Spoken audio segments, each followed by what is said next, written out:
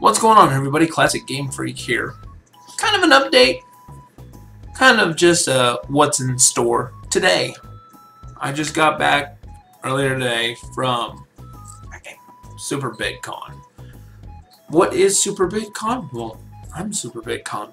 No, Super BitCon was a nice little uh, gaming convention put on by the Retro Gaming Society, uh, I believe based in Oklahoma City and they put on a pretty darn good convention. Second year they ran this thing. Second year was massive. The first year was good. Second year was like 10 times better. Ran for two days. Stayed up in Oklahoma City for the weekend. And man, I am tired. So you're probably wondering, where are the games? The games are here. The games are here. But you're going to have to wait. If you're not a personal friend on my Facebook, then you have no idea what I picked up. If you're a personal friend of mine, then you know exactly what I picked up because I posted pictures. I plastered them all over Facebook. So, as I said, you're probably wondering what I got. And uh, I got some really, really cool stuff.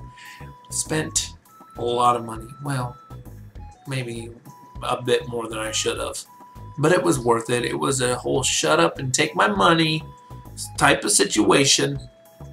And I actually don't regret spending the money I did. These games are really cool. The systems I got are really cool. did I say that?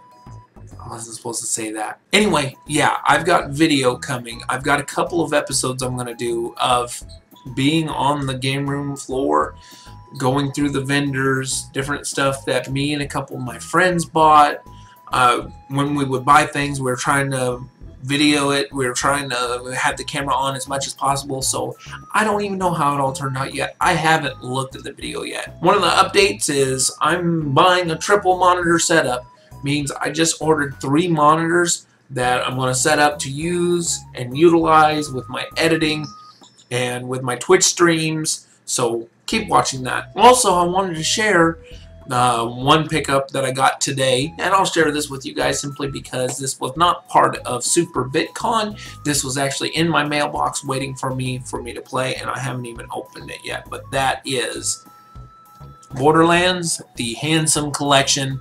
I was not gonna buy this, but uh, I got a good deal on it. I got it for 20 bucks. I can't complain. So, yeah, why not? I'll give Borderlands another go because they're uh, not HD.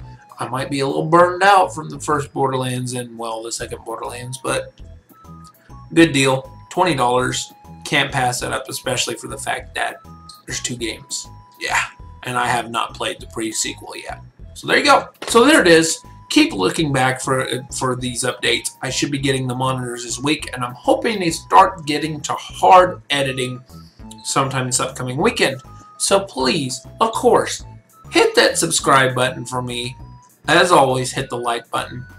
Feel free to comment, and I'll see you guys in the next video. Cheers.